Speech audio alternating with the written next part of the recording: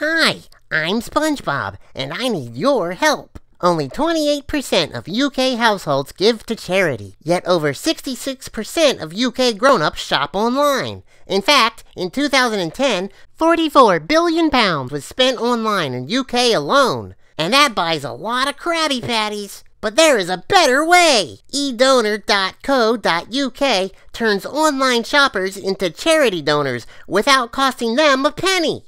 All it takes is one click every time you shop. And you know how we love to shop.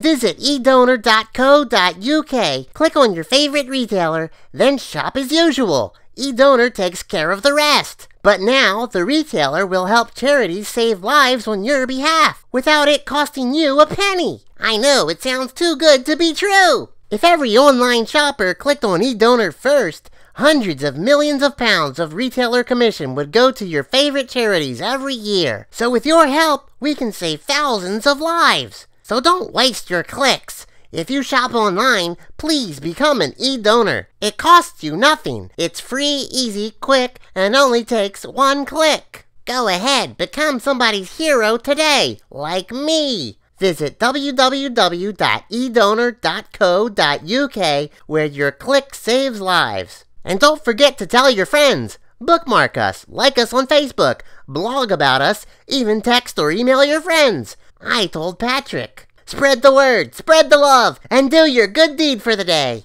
Thank you for making a difference. Visit www.edonor.co.uk.